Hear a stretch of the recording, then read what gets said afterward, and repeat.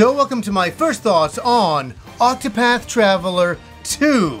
Yes, the second game is finally here. I played the demo. I want to give some early impressions. I played with a couple of characters, no spoilers at all. I will ask you guys are you looking forward to playing the second Octopath Traveler game? Did you enjoy the first game? Uh, are you looking forward to the second game? I want to say also as well, this game is available for PS5, PS4, Switch, PC, and sadly, not on Xbox yet. And I really hope they change that and it comes on Xbox eventually, because I remember back in the day, Octopath Traveler 1 was on the Switch to begin with.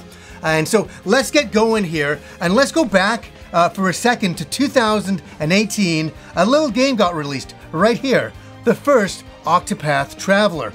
Now, this is a really big deal game to think back on now because we were at a time when most games were coming out and they're big 3D RPGs going on, and we were all loving them. None of us had a problem with that, but a lot of us like to look back to the past for the 16-bit, 32-bit era of RPGs, the certain look and the feeling that it gave us, and we're very nostalgic about that, but also they were very, very good games. And I think we're at that right time, because this came out and everybody jumped on it. Everybody was having that same feeling that they wanted to go back to the past, but experience the game still on modern consoles and with everything that that had to offer. And this game delivered and then some it was a return to RPGs, the classic days, music wise, graphic wise, storyline wise, multiple character wise. It was a hit. And if anybody remembers back then, this game sold out. I remember making a video saying, oh my god, Octopath Traveler sold out. And everybody else is like, oh my god, I need to snag this game. And I think most people who have played this game really, really enjoyed it. It's kind of a return to the good old days of, say, Final Fantasy 2 and 3 when they were released over here under those uh, titles uh, at that time. And I played this game and I was it was like a love letter to the past and I think they absolutely nailed it with the graphics, with the style and all of that. So that brings us into modern day time where now we have a demo and that's the one thing I want to say you can all just go and play this game today and play the demo. I played the Switch demo and I played it for over three plus hours uh, with multiple characters. I'm only going to show one character because I don't want to spoil anything, and that's one thing I, I won't do. I won't spoil any of the main storylines of the game because you want to play this and experience this for yourself. So to begin with, I went in, and the first thing I always do I switched the language to Japanese and subtitles. I just like that. It just feels like I'm at home with that kind of thing. I'm always being uh, a subtitle guy over a dub guy most times, even though a lot of games have had really great dubs. For this, I was like, no, I'm going this way, and I feel it served me well. Now, how does this game stack up to the first game? I think it improves on a lot of different things. I think the storylines with all the characters are a lot more thought out, a little bit more human. I feel that sometimes in the original game, some of these storylines are a little bit staticky. They worked well, but this one feels a little bit more well written. And that starts us off with you can pick up to eight different characters in eight different regions. And you can start anywhere you want to go. And it's kind of interesting because all these characters are very fleshed out, all of their continents are very fleshed out, all of their storylines are very well written and really good for each individual scenario. So let's have a look at these eight characters. In one of the scenarios, you play as a scholar who's framed and you're trying to get to the bottom of it. Uh, there's also a cleric where a tragic accident takes place in the church and you gotta solve that mystery. And you play as a thief trying to escape the cycle of bloodshed and reclaim your freedom. You also play as a hunter trying to save your home from the Night of the Scarlet Moon. And you play as an apothecary trying to discover what you lost and rediscover yourself. You also play as a warrior prince hoping to bring peace to your nations. And this is the one that I did. I play as a merchant looking to eliminate the devil called poverty in the world. And I, I always thought that was really, really funny. And his scenario is really great. That's the main one that I played. And you also play as a tavern dancer who's had her heart set to begin her journey to stardom. So there's many, many different scenarios that you can pick, and you're like, which one do I go with? I mean, you can't go wrong anywhere you start because you'll all end up where you're going to end up. You'll play through all of these scenarios eventually, but I really like the idea that you can pick and choose how you want to begin, and I've really enjoyed playing these. I think they're really well fleshed out storylines and really well written, and I really, really care about the characters. So even playing as the merchant, uh, without too many spoilers, you're playing in the past, uh, in a certain city, and I think some of the charm is that each individual character is differently and plays differently, and even fights differently. And I think that's what's really cool, and that gets us into combat. Uh, just like the original game, turn-based combat. Yes, a return to the classics. You feel at home, and you feel very safe, and you're like, oh, I like this. I really don't want to leave it at all. And that's the thing I really enjoy is the boost gauge. So you can boost up your attacks and do multiple attacks, take down your enemies, and then you can hit the X button and do a real counterattack blow. But here's the thing, I gotta say, just like the original, this is a very, very difficult game in the sense that you really need to think about what you're doing with all your individual characters because you got to find out what your enemy's weaknesses are and exploit them. It's all about that. And it's also about taking care of your characters, healing them if they're injured, uh, healing them of toxins, things like that, and staying on board with all that, upgrading your characters. It's a classic RPG, and that's what I like.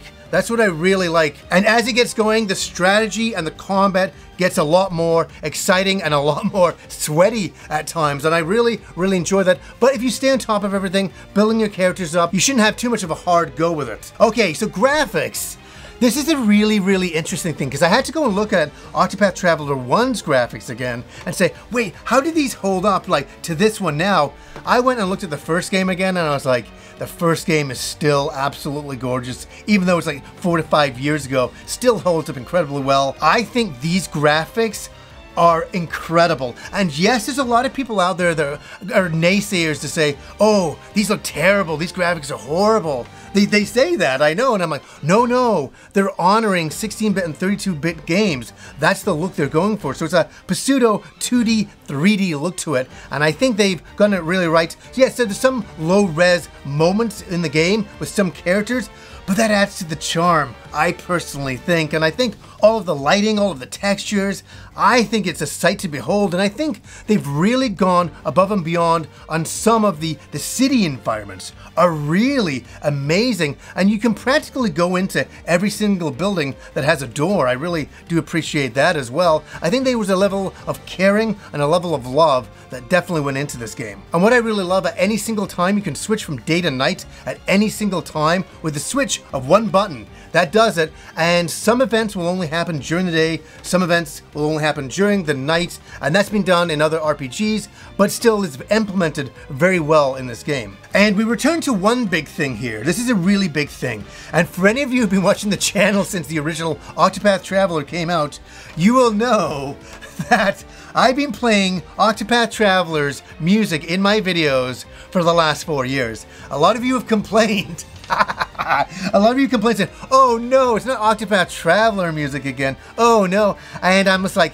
I can't help it. I think the music is so good from the original game that I'm still listening to it all these years later. And I'm like, when that game came out, that music was classic RPG music that we would listen to for a lifetime. How does this game stand up? It's still early days for me, but it's fascinating how some of the combat music starts off and I'm like, wait, it's the combat music from the first game.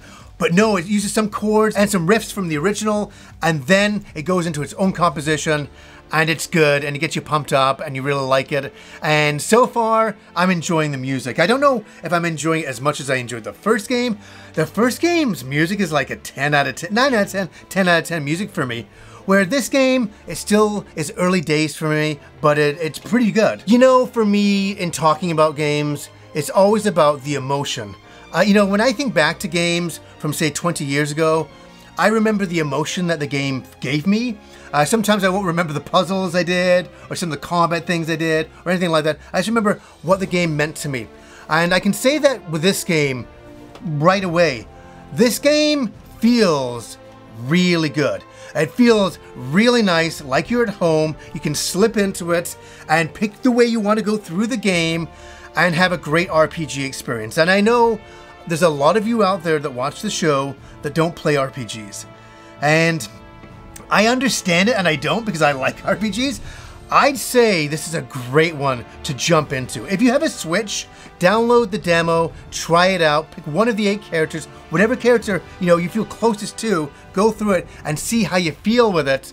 Uh, because I think this is a classic RPG. This is one of those games I think we'll be thinking about in another 20 years. We'll be like, man, Octopath Traveler 1 and 2 were those great games at the time. Uh, some of the highest, most remembered Switch RPGs on the machine. I think this is one of those games that we'll think back to in time and go, wow, Octopath Traveler, what a series. What a return to form, and what a return to the good old days, but done in a brand new style for us now. And I'm telling you, the style that they used for this game, I know that they're going to use on Dragon Quest III, the remake.